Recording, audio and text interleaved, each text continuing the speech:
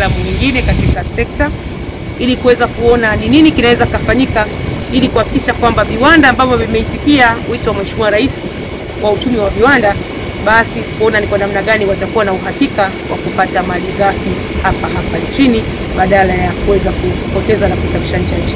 Kwa ni swala ambalo niseme tumelipokea, tutaendelea kushauriana na mamlaka nyingine serikalini ili kuweza kupata uzoefu zaidi wa nchi za wenzetu. Wenzetu wa Afrika Mashariki wengine wamefanya, wameweka zuio ili kulinda viwanda vyao vya ndani, kuhakikisha kwamba viwanda vilivyowekeza mtaji mkubwa vinauhakikishiwa kupata malighafi hiyo.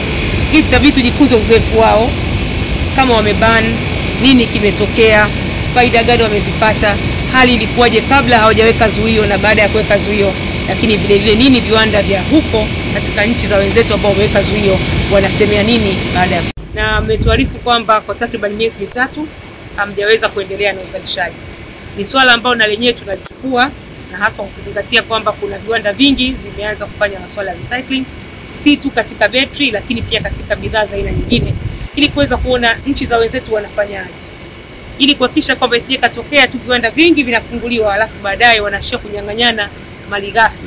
Anaanza miezi sita, anaenda vizuri, lakini baada ya muda mfupi anajikuta amekwama na hasa ukizingatia wengi wanafanya uzalishaji wao kutokana na mitaji walipata kupitia mikopo au kupitia uwezeshaji wa elimu. Kwa ni swala ambalo na tutaenda kuliangalia na kupata pia uzoefu wa wenzetu na wataalamu wanaeleza nini kuhusiana na masuala ya viwanda vya aina hii kwa ajili ya kufanya usafi. Lakini ya tatu ni wapongeze katika viwanda vya kuzalisha mikeka au mabusati nadhani kwa Kiswahili au majani mikeka, mikeka haya niwapongeze kwa kweli, ni mikeka mizuri na tumekuwa tukiona madukani, lakini natambua kuna changamoto ya mikeka mingine ambayo inatoka India na kwingineko. Ni swala ambalo na lenyewe tutaenda kuliangalia na Wizara ya Fedha pamoja na Wizara ya Viwanda, nini kinaweza kufanyika katika kulinda wazalishaji wa ndani wa bidhaa za aina hizi, aidha katika kuweka tozo zaidi na kodi, lakini Wizara ya Fedha wana namna bora, wanajua ni kwa namna gani viwanda vya uzalishaji wa ndani vinaweza vikalindwa na hasa ukizingatia tunayo mikataba mingine na kimataifa katika mashirika ya biashara duniani au WTO.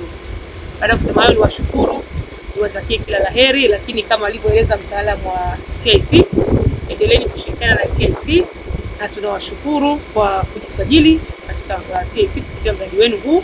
Tutaendelea kuwalea, tutaendelea kushirikiana na nyinyi kuhakikisha kwamba hakuna changamoto ambazo mnazipata ambazo hazipatiwi ufumbuzi lakini vile vile kwa upande wa taarifa ya maendeleo ya uwekezaji wenu wa progress report kama mlivyoshauriwa, uh, na yenyewe ni vema mwe mnaleta uh, TIC, lakini vile vile nakala wizarani.